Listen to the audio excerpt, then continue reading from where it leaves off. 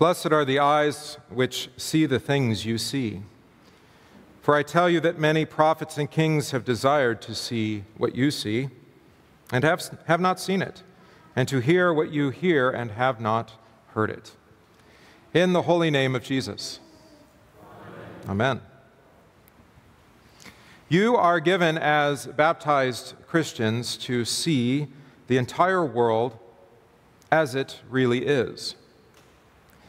But this sight does not come to you by your physical eyes, but through God's Word and Spirit given faith.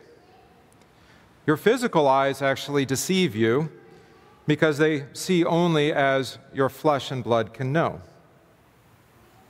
So you look and you see a damned sinner or a self righteous saint, whether you look at yourself or around at your neighbor. But neither vision is the truth, or at least nothing more than, at best, the half truth. If you see as the flesh sees, you will only see corruption. If you look with eyes towards justice and law, you will despair for today and tomorrow. Or, as one of you asked before church, that we pray for our country. Again, looking with our eyes, it seems there is no hope. And if you keep looking, even further afield, you will see only a damnable world full of murder, adultery, unchastity, theft, slander, libel, greed, and worse. With our eyes, it appears that every, everything and everyone is under demonic sway, corrupt and corrupting. Even churches offer no clarity of purpose or future, any way out, a different vision. But again, you are given, as baptized Christians, to see the entire world as it actually is. The sight does not come through your physical eyes, but through God's Word and Spirit given faith. When you look around with eyes of faith, enlightened by the gospel, instead you see sinners, yes, but sinners for whom Christ died. You see neighbors whom Jesus gave you to love with his love. You see a world desperately needing Christ's blood bought grace, mercy, and peace. Your physical eyes cannot see this. Only eyes lit up by the gospel of Jesus can. And so it seems these eyes are opposed to one another. And of course, you know that the flesh is opposed to the spirit. You will always see things in two ways. First, according to the law, which shows you and your neighbor's sin and it's hopeless despairing. And also, then, with eyes of faith according to the gospel, which sees your sins forgiven and forgiving your neighbor's sins. It doesn't take a word from God to see all the wrongdoing and corruption and even death that's in ourselves and in our neighbor. Just an honest reflection sees that. We have the law written on our hearts, and it reveals that truth the truth of the law just fine. But even then, we have a kind of adaptive blindness to our own sin, and then a hypersensitive vision to our neighbor's faults. We're good at avoiding our own guilt and heaping shame upon our neighbor. But God won't have it, because that's not the truth. Even though the law is written on our hearts, we still deceive ourselves, and that truth is not in us. So, God spoke the law in all its severity on Sinai so that neither you nor your neighbor have any excuse. When the law of God speaks, sin increases beyond measure, so that all are declared captive, enslaved, guilty. And if that were the last word, then we'd be just like the man in the ditch, stripped naked, robbed of anything in what we could trust, and left for dead. Exactly, probably what we deserved. The sad truth is that we and everyone else in that mass grave deserve to be there. God has revealed this truth so that you do not deceive yourself, so that you know what is really real, that you see yourselves truthfully according to the flesh, sinners without a hope or prayer. But God didn't stop speaking. Indeed, long before Sinai, before that law in its full severity was spoken, he spoke a word of promise the promised seed who would crush the serpent's head, the seed in whom all the nations of the earth would be blessed, the seed in whose fellow brothers and sisters would be more numerous than the stars of heaven and the sand on the shore. That word of promise predates even the foundation of the world. That promise overcomes what your flesh sees, what your physical eyes can see, or even what God's law has revealed.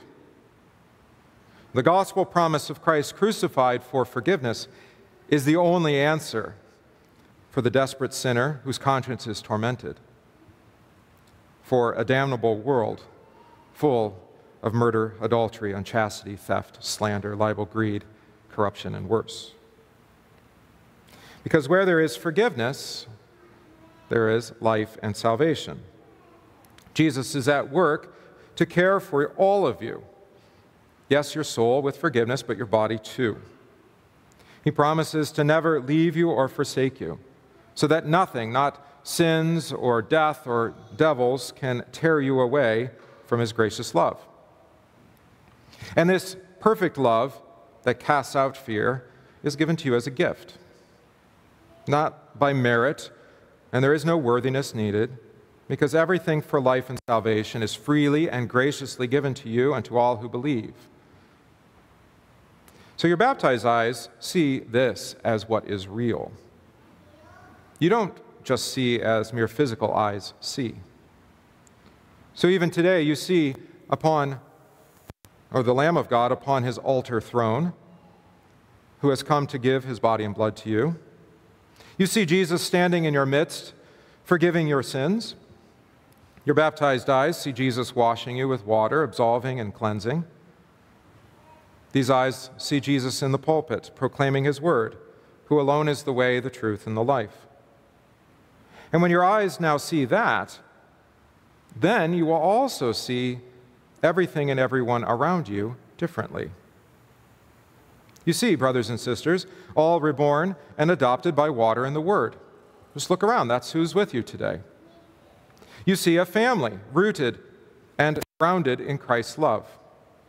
You see your fellow kin, who are yours to love and care for, not by human blood, but by divine promise. You see a family gathering of dysfunctional sinners, yes, but living together by the atoning blood of Christ.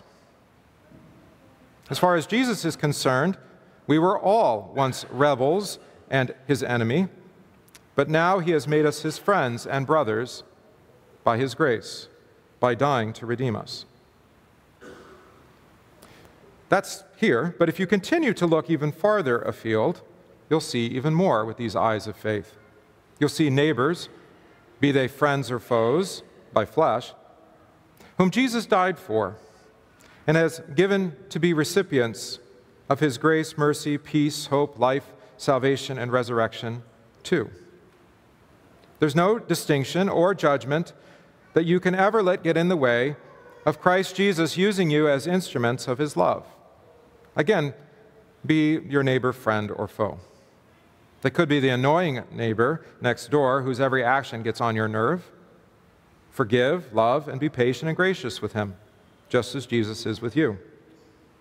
And the possibilities to love are as numerous as there are sinners and a sinful world. You have uh, a few inserts as well as some other bulletin announcements of those within our congregation and those nearby and even those far afield who need your love and care. Love begins with prayer because all true prayer is grounded in God's Word, revealing and forgiving sin. And then from there, you see the world differently with love. Your neighbor could be a coworker who is impossible to work with and doesn't really even deserve the job. Forgive her without limit with undeserved charity. Your neighbor could be Russian aggressors or Ukrainian oligarchs. Both sides, so to speak, need Jesus to bring peace, a lasting peace that only forgiveness of sins can give. Your neighbor could be those incarcerated, maybe even January 6th insurrectionists who are rotting in jail with no due process or speedy trial with exaggerated charges and are neglected and dejected. These fellow citizens are your neighbors who need loving care. Advocacy, money, letters to Congress, or even just care packages for their family and children. However, you feel about what they did doesn't even matter, any more than it mattered for the Samaritan who found the man in the ditch. What the courts rule is even irrelevant. They and their families need absolution and love. Just to name a few examples, these opportunities are endless. I'm sure you've probably thought of others who your conscience has pricked, who need your love too already. But of course, you ask, how could we love them all? How could we possibly do that? There must be some limit, some constraint. Who is my neighbor? You think that no one has the time or the resources or facilities or patience or even the means to do even a little for all those in need, never mind everything they need. You can't even see how that's possible.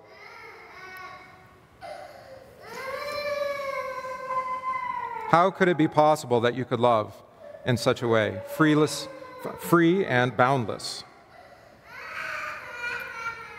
But of course, that makes you just like the lawyer that came to Jesus, who can think only according to the law, only as his eyes can see.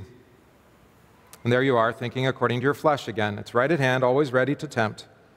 Setting limits on, on love and making excuses, well, really, so you could just be negligent. But why? You have eyes of faith, you've been baptized, you know that the Lord always provides, love abounding. So look around and see with eyes of faith. You have a cup overflowing with grace and mercy. You have a spring of waters that never dries up.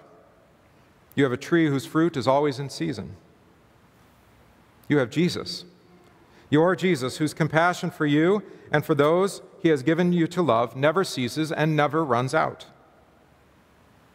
And so today, Jesus is here first to care for you, to bind up your wounds, to heal you of your sin and rebellion, to carry you on his shoulders here into his holy inn, and to care for you. His mercies never cease, thanks be to God. And then you won't cease to love either. Blessed are the eyes which see the things that you have seen. For I tell you that many prophets and kings desire to see what you see and have not seen it, and to hear what you hear and have not heard it. In the holy name of Jesus. Amen. We stand to sing the offertory.